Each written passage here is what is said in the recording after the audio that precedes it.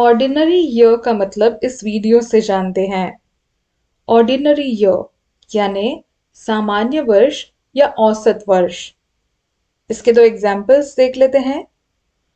Unlike a leap year 2021 is an ordinary year with 365 days यानी एक leap वर्ष के विपरीत 2021 एक साधारण वर्ष है, जिसमें तीन सौ पैंसठ दिन है।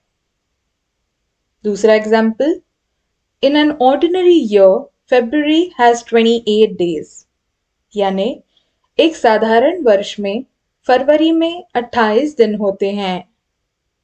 फिर से एक बार देखते हैं ऑर्डिनरी ईयर का मतलब होता है सामान्य वर्ष या औसत वर्ष। उम्मीद करती हूँ आपको ये मतलब समझ आ गया होगा।